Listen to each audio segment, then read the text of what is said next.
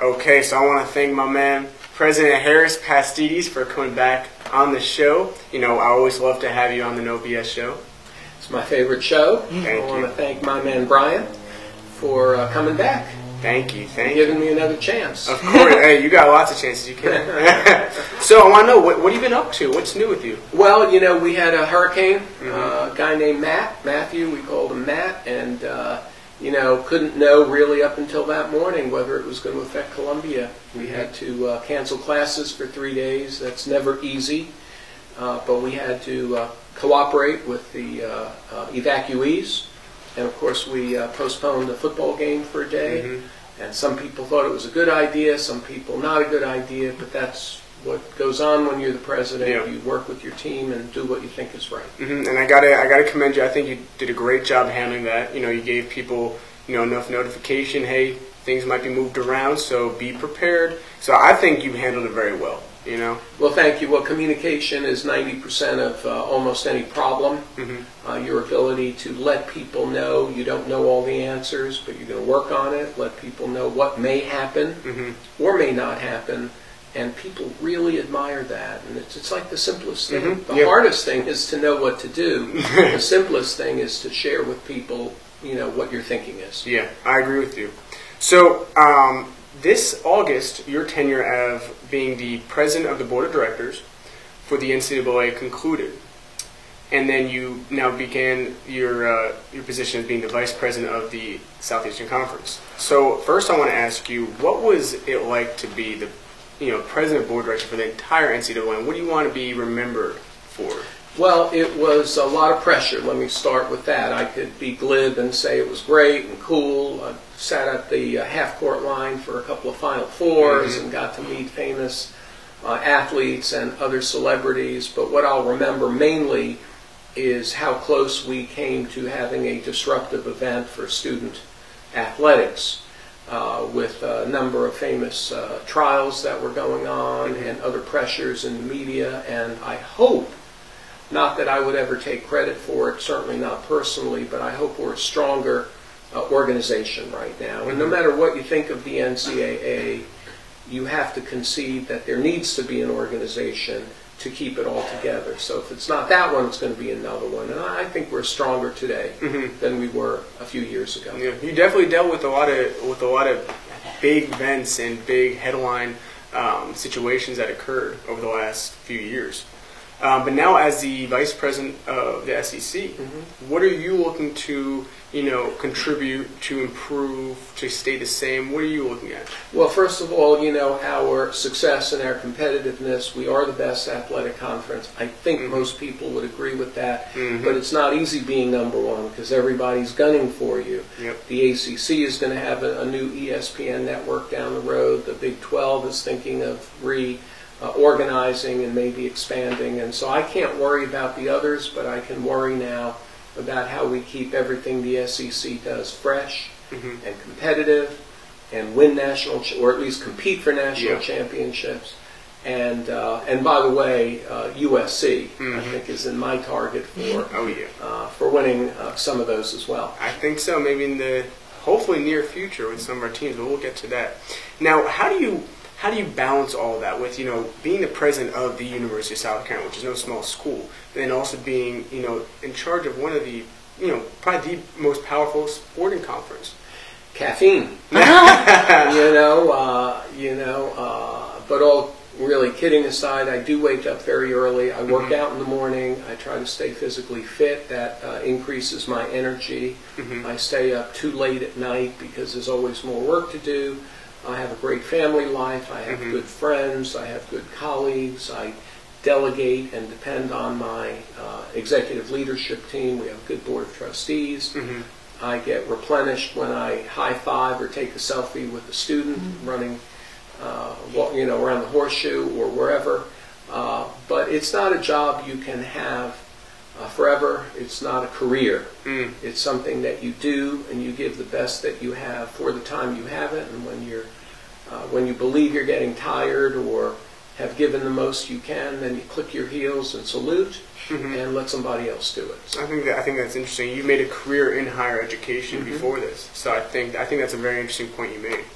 So now, recently, you know, we've had um, a lot of situations on campus with alcohol and you know fraternities and sororities. So last year was more with the fraternities. There's some situations where a lot of um, there's a lot of underage drinking and stuff like that. Mhm. That got well, there's always been underage drinking, but um, there's been more trips to the hospital Mhm. this year with um, the sororities. There's been a number of girls who have been found, you know, you know, in five points the next morning on someone's, you know, uh, front um, right outside the front door.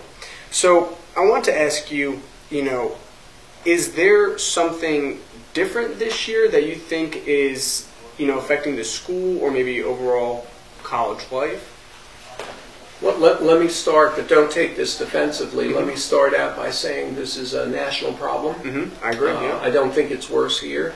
Uh, number two, we're a bigger university, and when you have more students, you're going to have more events. So when the denominator for our math students out there, when the denominator is bigger, even if the rate remains the same, the numerator is going to be bigger. So Mhm. there are going to be more transports and more. Now, having said that, that's not what really my comment because I think any one incident is one too many. I do think as well there is more reporting. We have created a culture starting with freshman orientation then that when you see something that shouldn't be, the Carolinian Creed actually obliges you to speak out, stand up, speak out, report it because not because we want people to get in trouble, but because we want to help them. Yeah. And so I do think uh, some of the apparent increase is probably a, uh, a fact that we're bigger. Now, having said that, uh, it's a you know it's a terrible thing.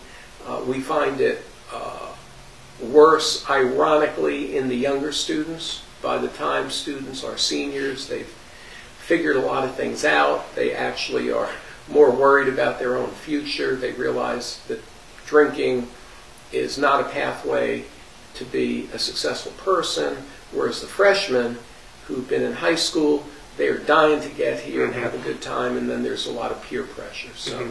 uh, but we're working on uh, things we could do better. Yeah, and, yeah. Uh, and even one problem is, is one too many. hmm And that's what I was gonna I was gonna ask you. What I know this is you know there's people that do this for a job to try to figure out what you could do, what the school can do, what can change, what can you know add to bring down these issues. But all, like, what do you think is something that the school can do to help the drinking? problem? Well, I, I'd say first of all, continue to educate. Mhm. Uh, that's more on what I'll call the voluntary side, help students make better choices themselves. Number two, we can enforce Mhm. the rules, and, uh, and, and whether a student likes it or not, if they do get an underage drinking citation or a DUI, that can remain part of their permanent record. And so Mhm. we're telling them that before they have it. Yeah. When you apply to law school or grad school or apply for a job, there you cannot run from anything anymore. They will do a quick search, a quick Google search, and they will know what happened, and that's going to be a black mark uh, against your record. Number three, we can work with the bartenders in Five Points. I think there are these drink specials that make it cheaper to drink more. Mhm. You know, shouldn't it be the less you drink, the more money you save? Yep. But no, if you buy five at a time, or, and I don't even know all of the details, and we don't think that's right. Mhm. But then you're going against, if you will, the American spirit of making a profit. But I think we can work with them and say that's just not healthy, Yeah. and, and other things as well. Yeah, I think I think those are great ideas. Um, now, a few about a month ago or so, U.S. News came out their uh, annual rankings for um, universities, and they ranked the University of South Carolina number 107 in the nation with an overall score on their rankings of 46 out of 100. And now, I know this isn't the only uh, organization that does the rankings, but they're one of the most um, highly respected. Now, I want to know how you felt about those rankings because I think those are disrespectful. Because I think we're a top ten, and that's and I don't know. Me if I'm- too. I don't know if I'm you know if I'm just being too close to it or what. Well, I, I, I could, I don't want to make it too long an answer, but Mhm. I fully agree with you, by the way. And, uh, uh, but A, uh, we actually rose in the rankings, so Mhm. that was good. But the rankings, unfortunately, at some level, don't look at what you do with students, they look at who you take.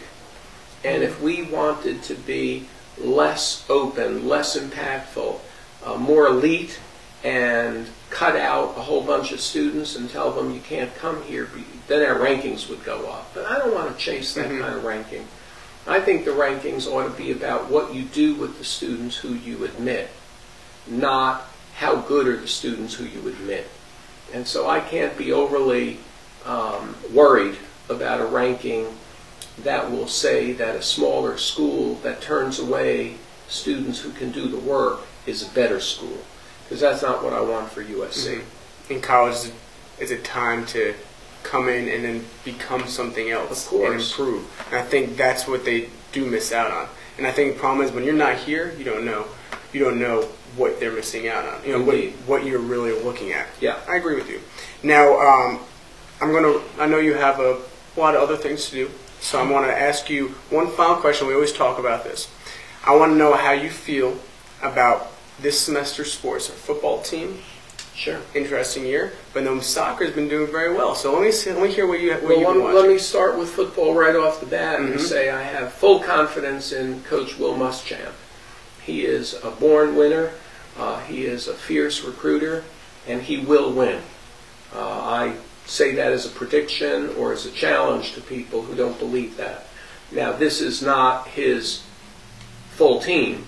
He inherited this team. They're wonderful players, and he's got to work in the remaining half of the season to knock off, in my opinion, one of those big teams we have left to play. Mhm. And I hope he can. But he is building brick by brick, recruit by recruit, and you stay tuned. We will uh, compete for and win the SEC East, and I hope the SEC. Women's soccer, number two in the country, undefeated, won a uh, an overtime game last night against Vanderbilt. They might win the SEC and maybe a national championship. Uh, we're going into basketball season, of course. High hopes for the women who are nationally ranked and for the men. And of course, our other fall sports that include uh, volleyball and uh, moving into softball practice and baseball. So, uh, look, I'm a Gamecock, win or lose. And uh, am I uh, jumping for joy uh, having lost uh, close games in football this year already? Uh, no. I would have preferred that it was uh, a storybook season, Yep. but it looks like it's going to be maybe not that, but it's going to be, I hope it's going to be a respectable season, and I am confident uh, we will be back. So if you're a Gamecock fan, do not despair. Just be a little bit patient. So I want to thank you for coming back on the show.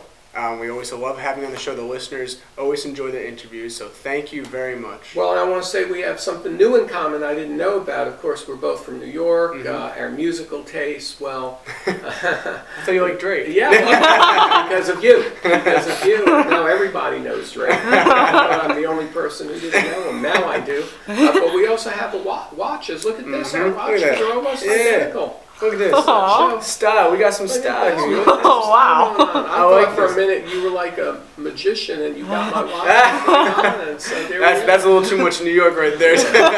So good to be with you, Thank you Bryan Solomon. I appreciate it. Thank you.